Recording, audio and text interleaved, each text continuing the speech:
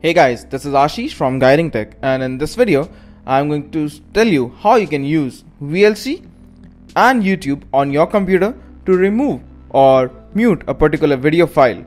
The process is quite easy so let's see how things are done.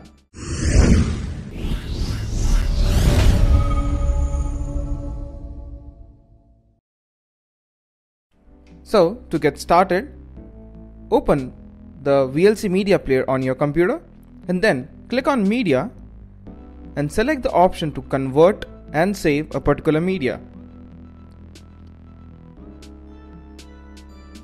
Now in the next window that appears, you'll have to add the particular file or video file that you need to extract the audio from.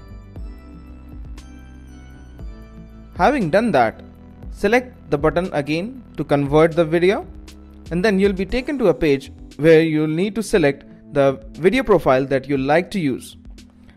Now you can leave it to MP4 and that's good enough and then select the option to edit the particular profile.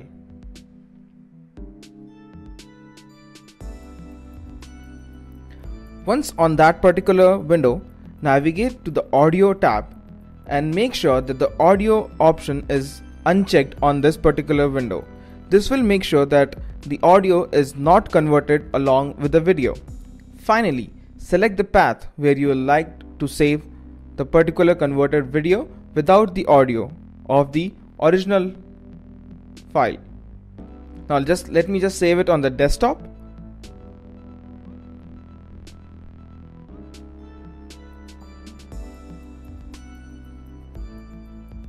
And once you're done, click on start. The time taken to convert the particular video will be approximately the same time as the duration of the video as each frame will be processed one by one by the VLC player. Now let me just fast forward to the section where everything is finished and then we'll play the video. Now as you can see that the video is playing and it has no audio in it. So this was one of the ways in which you can mute or remove audio from video using the VLC media player. Now if you don't have access to the particular media player on your computer, we'll now see how the things can be done using YouTube.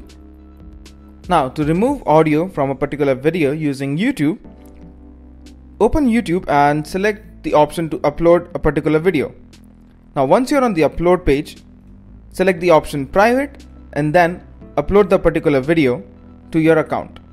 Now it might take time for YouTube to upload and process the video for you. So to get things moving, I have already uploaded a video and we'll be using it to remove the audio. Now once you're on your Creator Studio dashboard, click on the create option and then select the option video editor. Now once you're in this page, drag and drop the particular video from where you need to remove the audio. Once you drag and drop the particular file, on the right hand side you'll notice these four tabs. Click on the option audio and then decrease the volume to mute the particular video. Once it's done, all you need to do is give a new name to the new file and then select the option to create the video.